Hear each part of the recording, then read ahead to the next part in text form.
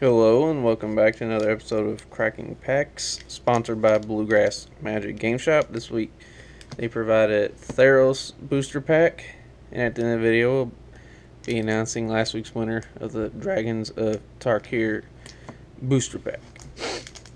And I've done a excuse me, done a couple of these lately, but I like to set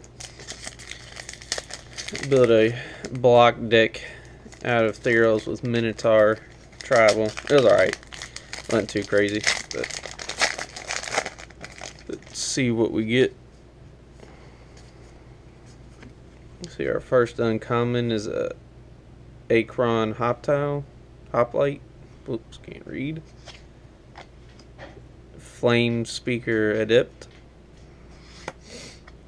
Spellheart Chimera. And our rare is a land Temple of Silence comes in tapped. Scry one when it comes in tapped. You can add a white or black mana for it. Alright. Not too too much of an exciting pack, but we'll take it. Just see there's 44 possible entries this week.